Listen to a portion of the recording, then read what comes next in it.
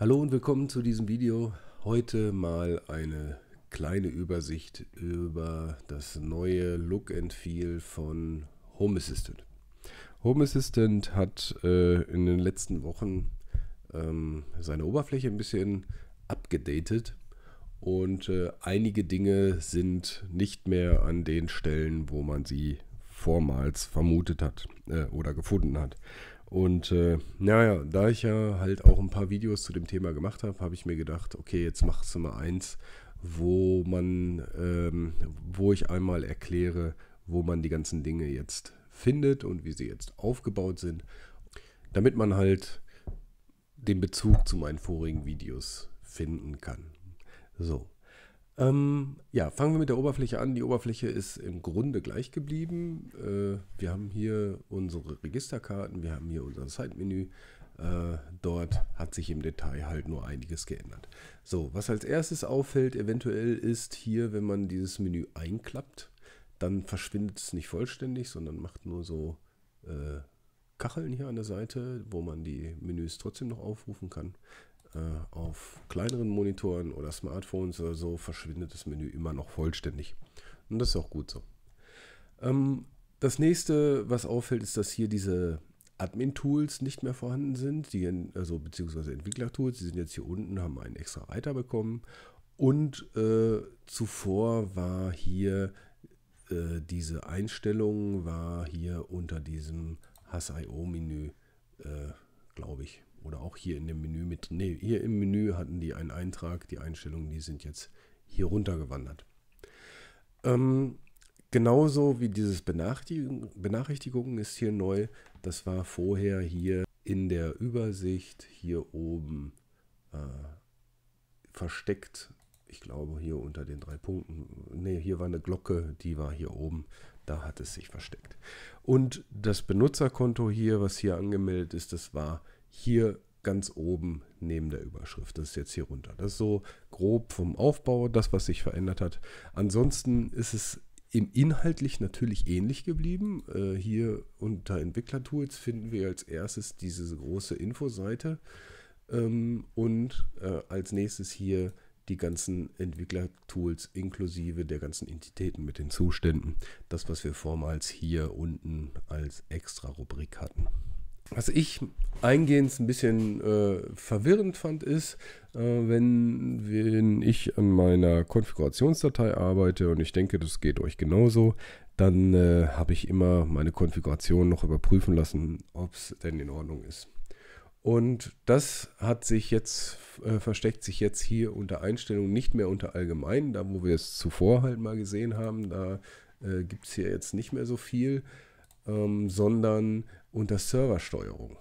So, aber auch hier wird dieses äh, Konfiguration überprüfen nur angezeigt, wenn ihr in eurem Benutzerkonto hier den Advanced Mode aktiviert habt.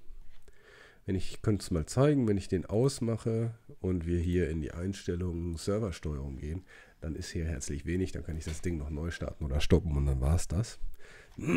Also, wer es vermisst, bitte hier den Advanced Mode einschalten.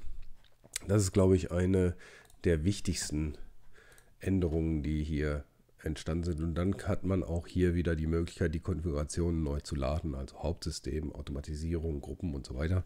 Kann man dann hier auch per Klick neu laden, ohne das System komplett neu starten zu müssen. Ja, was hat sich noch verändert? Ähm, hier in den, hier gibt es jetzt ein Entitätenregister. Ich weiß, ich bin jetzt nicht äh, sicher, ob es mit der letzten Version gekommen ist oder mit der Dings. Auf jeden Fall ist das auch sehr wichtig hier. Ich werde immer wieder gefragt, mal, oder in meiner Facebook-Gruppe ähm, wird immer wieder danach gefragt. Ich habe hier noch alte Entitäten, die angezeigt werden, die gibt es gar nicht mehr. Äh, was soll ich machen? Wie werde ich die los? Und äh, ja, da ist ganz einfach, also hier anklicken und dann hat man hier die Möglichkeit, das Ganze zu löschen und dann ist die, die Entität auch weg. So, dann ähm, ja, Bereichsregister gibt es auch schon ein bisschen länger. Ich kann halt meine, meine Entitäten Bereichen zuordnen.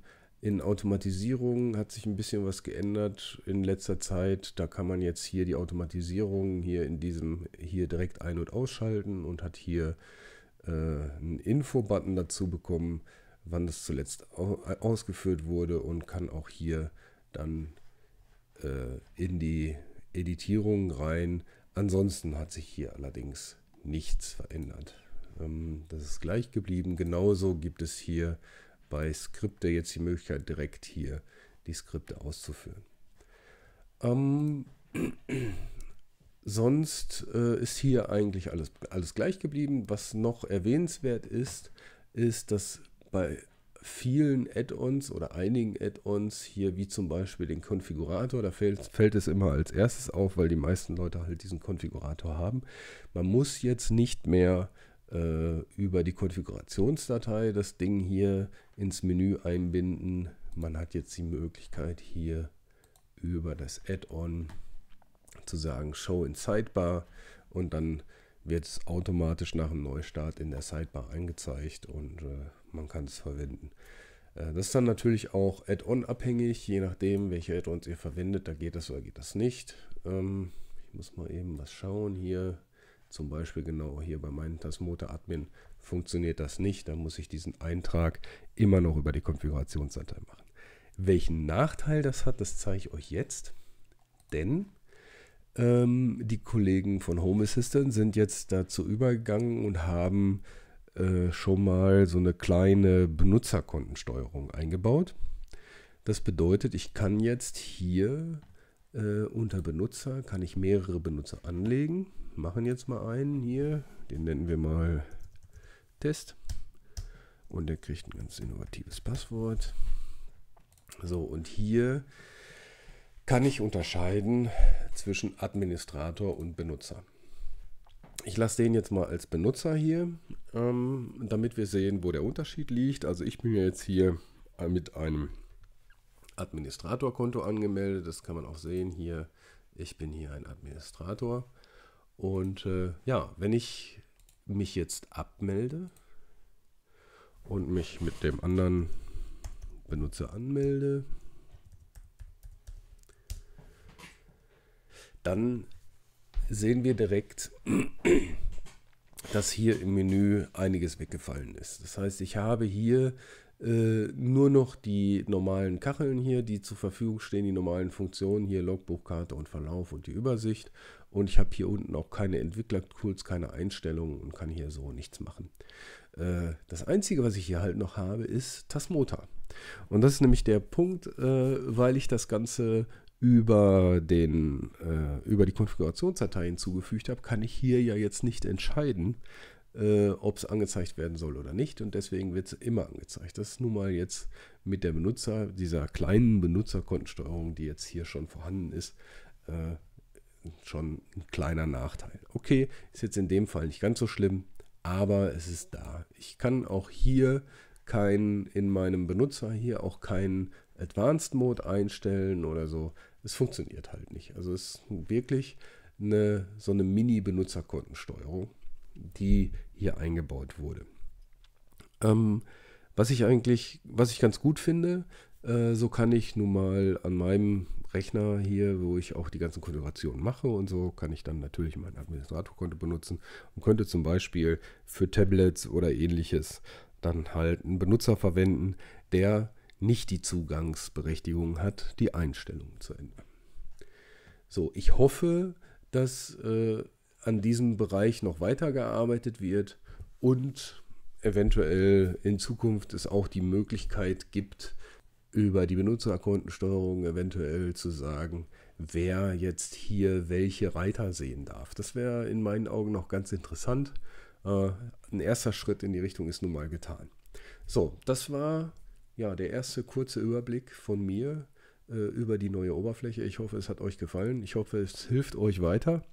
Ähm, gerade in Bezug auf meine vorherigen Videos, äh, um zum Beispiel das Konfigurationen überprüfen, Button richtig zu finden. Ja, wenn es euch gefallen hat, gebt mir bitte einen Daumen hoch. Äh, wenn ihr es noch nicht getan habt, abonniert meinen Kanal und äh, ähm, danke fürs Zuschauen und bis zum nächsten Mal.